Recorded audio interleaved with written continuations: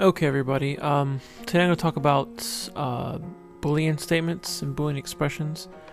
So, um, remember, a bool is anything that stores something that's true or false. So if I say Boolean x equals true, that means x is true. If I say Boolean y equals false, that means y is false. and if I print that, if I go ahead and print x, it prints uh, true because that's what it is. Uh, it. And it prints true right there. Okay, so there's three operands for uh, Boolean expressions or Boolean statements.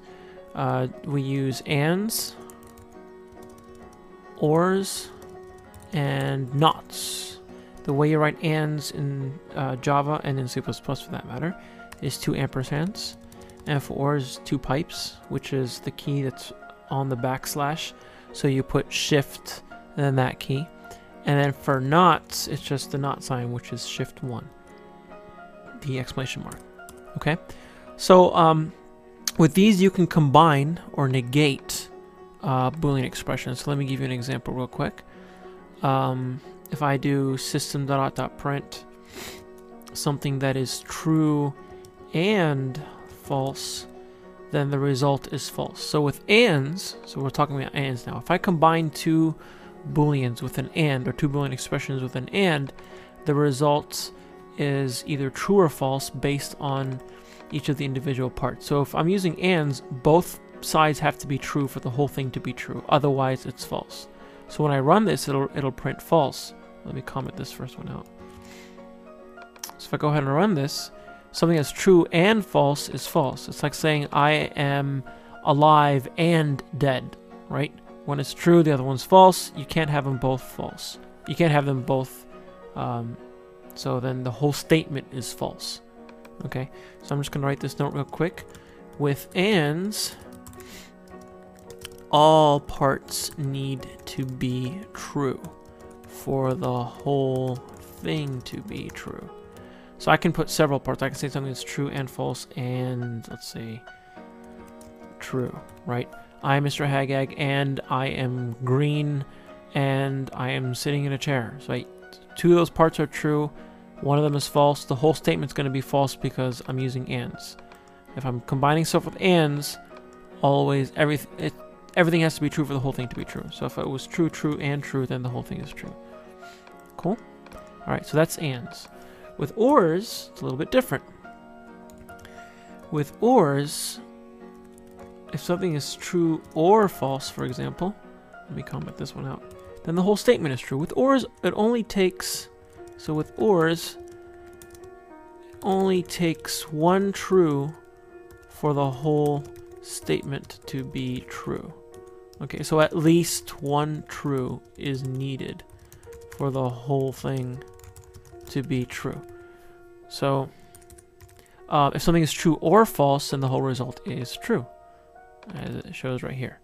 Like I am Mr. Haggag or I am made of cheese. Okay, so it's true or false, and the whole statement is true. So even if I had true or true, then the whole statement is still true. The only time it's going to be false is if everything is false. I am made of cheese, and um, I have green eyeballs. Okay? That whole statement is false. I mean, I am made of cheese or I have green eyeballs. Still is false. False or false is false. Okay? Uh, so that's ors. With nots, you just negate whatever is inside.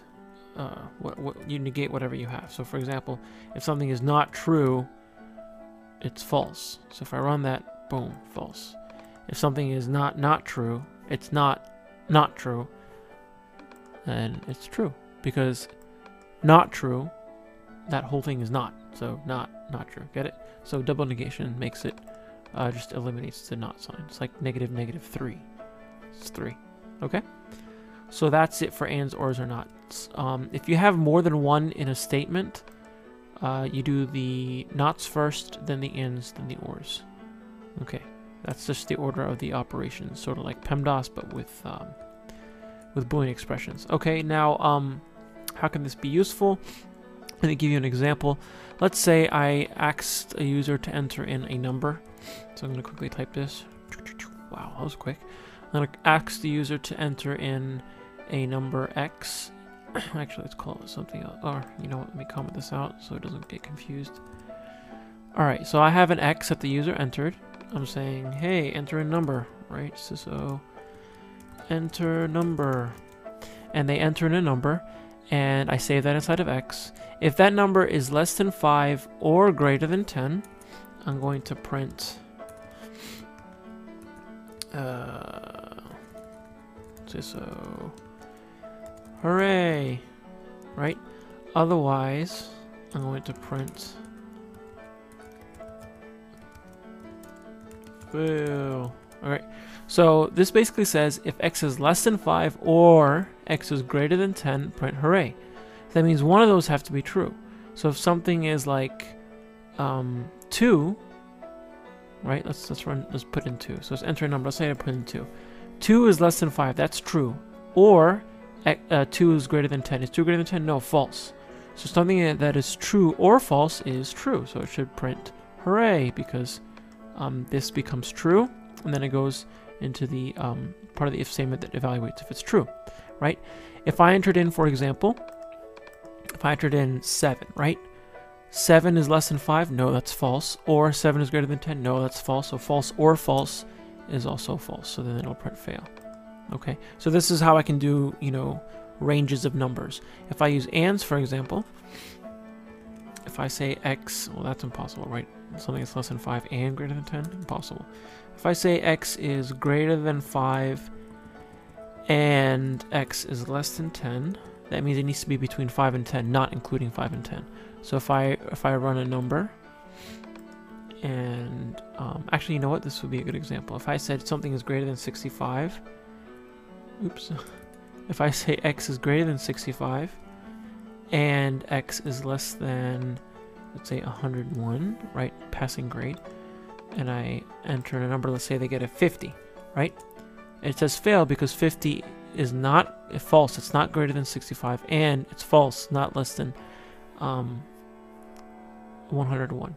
So something that is false and true, right, because 50 is less than 101, false and true, the whole thing is false because with ands, both of them have to be true right? So I run it, and if I put in, like, for example, let's say I put in 200.